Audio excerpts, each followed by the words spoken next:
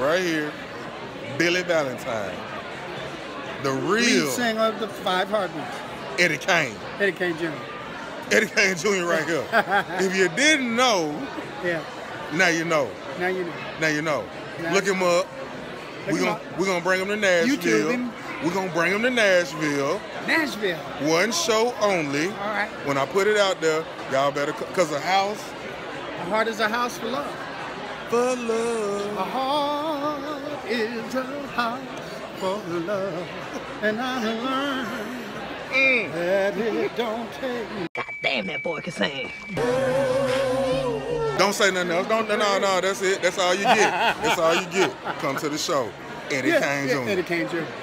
AKA Billy Valentine. All right.